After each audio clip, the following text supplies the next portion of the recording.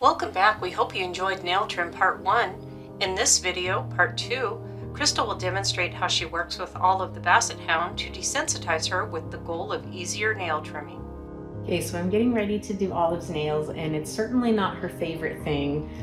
So I haven't done as much training on this as I should have to make her more comfortable with it.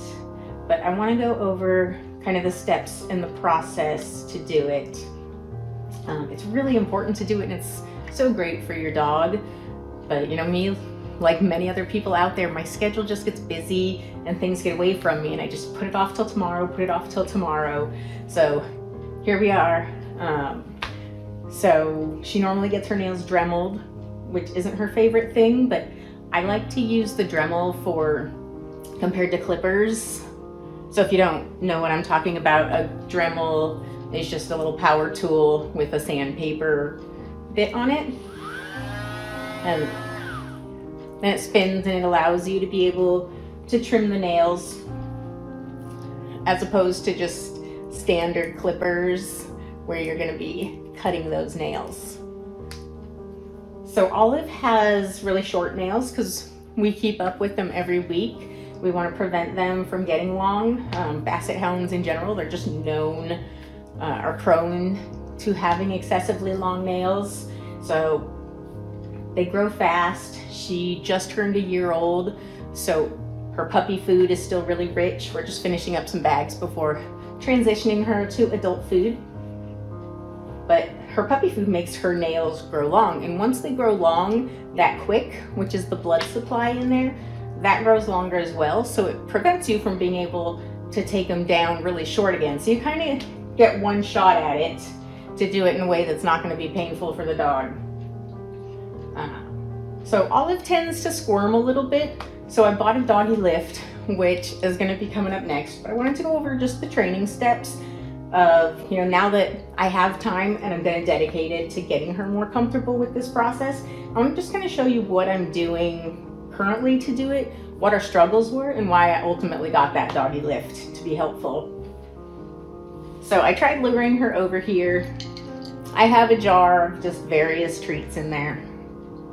Um, so when I called her to me after I got all set up, I offered her a treat just to make that more pleasant.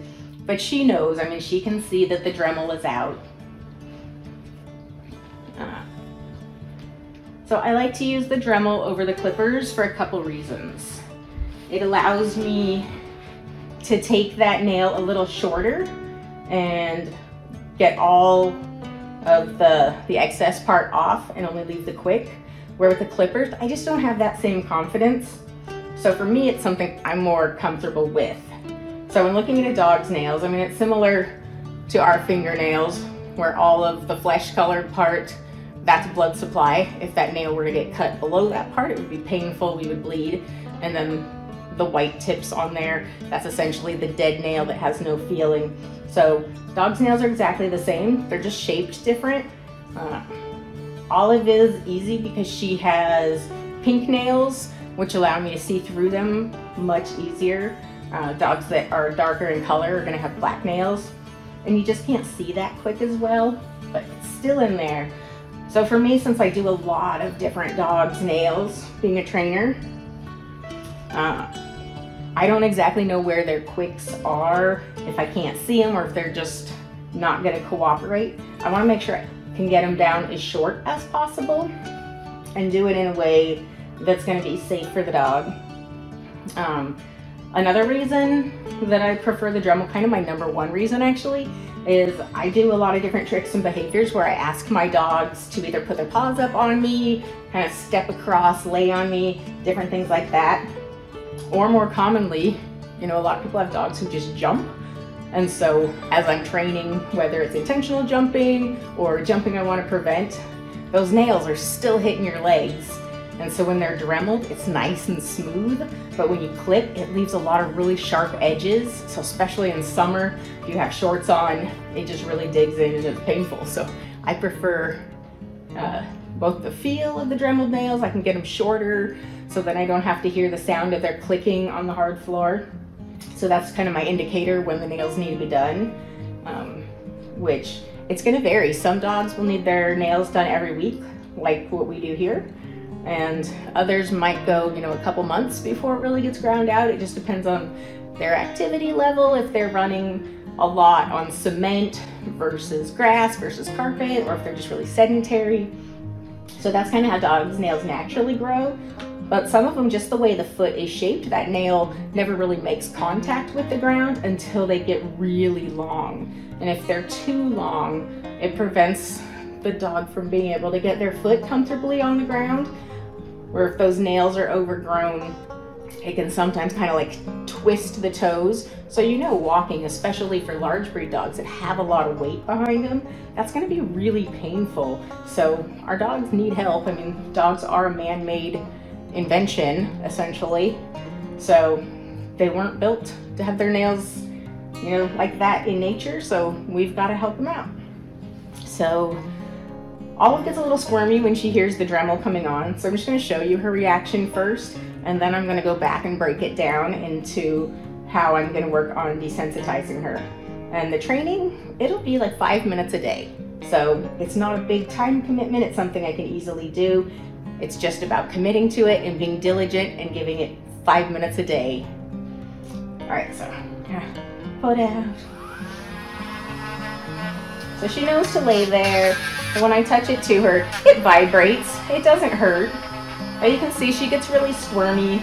So then I either need my husband to help hold her or I start kind of doing some pretzel twists where I'm wrapping her in that. Good girl. Good. So when I'm restraining, I don't, I really want her squirming and pushing me to not make the Dremel stop. I want to catch that moment where she relaxes or she's not fighting me, and then I'll kind of give her that break because a break is going to be a reward. So to break it down, and this is going to vary kind of where you need to start. Some dogs may have trouble just entering the room when they see either the clippers or the Dremel come out. So we're gonna focus on the Dremel specifically. Um, Olive's comfortable enough to come into the room, come up to me. I had to help her get rolled over. So I will do some work on getting her, hold still sweet, um, getting her to move her shoulders and hips easily when I push so I can just roll her easily. She can do it when she's really relaxed, but she was a little too stiff, so I have to build up to training her to do that with something that she perceives as not so great right now. So I'll first start, you know, letting her see it, sniff it, so it's never sneaking up on her when she interacts. She gets a treat. And this can, like, half of this is kibble, half is some good treats.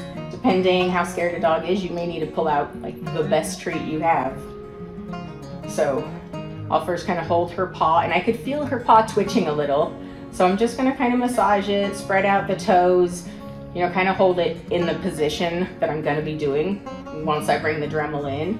And so when she's relaxed, I'll give her that treat. And I like to try to keep the Dremel in the picture still so she's seeing it as she's getting that treat. And then I'll kind of move to it where I can rub it on the bottoms of her feet, the tops, kind of stick out every nail, do a little tapping, Good girl. So Olive's progressed past this stage because we've done a lot of work on body handling. So I'm kind of whipping through that part quickly. Some dogs, you may need to treat every single motion. It may start with just a light touch and you give a treat. And then you do the next nail, light touch and treat. Um, and just go around to all four feet like that. But since she's good with her body handling, she doesn't mind me messing with her feet. She's in a good, comfortable restraint position. And people will do this in different ways. Some people have the dog standing, sitting up on a grooming table. For me, I like to have the dog between my legs where I can kind of make that comfortable space and I can kind of use my thighs to hold her in place if she squirms. It's just kind of the easiest for me to see what I'm doing. So totally personal preference there. So now, after I touched her with the Dremel off, I would just turn it on and if it has different settings, you can adjust it and go to like the lowest, quietest setting up to the highest. So then I'll just do some touching. So as long as she's staying calm with it, I'm just gonna keep, you know, praising her, going through the steps, but if she were to be pulling her foot away at this point, again, I would take that part much slower. So she's good at the lowest level. I'm gonna crank it up a little, go through that same process. Good girl. And then I like to keep the Dremel on and kind of keep that vibration on her foot. So when she takes that food, she's getting all that reward. So then I'll work up to just touching the nail. Good girl. And I could see like her back feet tensed up there. So her changing her position tells me that I've reached a level that she's a little uncomfortable at now.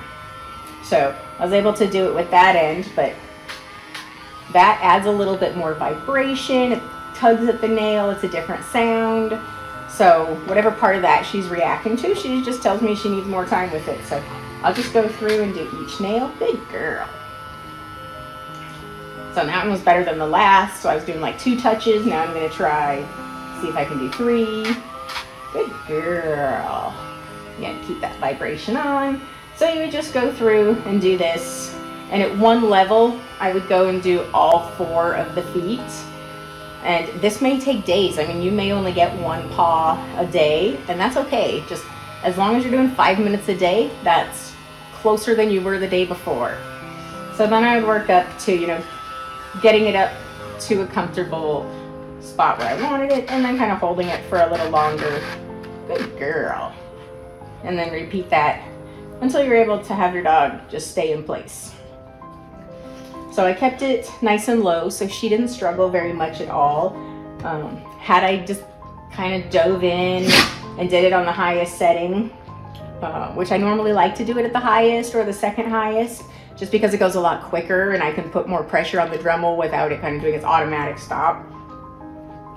Uh, so we prevented the struggling and that's ultimately the goal. I want this little session to end up being a really positive thing for her because she thinks it's a bad thing and I just, I have to do her nails at some point. So it's been just kind of this little wrestling match. Um, but now we're just gonna work and just give her that time because now I have a new contraption where I get to eliminate this fight. So let's go check out the doggy lift now.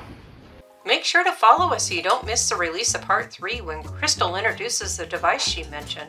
Also, please give us a thumbs up and comment below on what you would like to see in the future. Thanks for watching.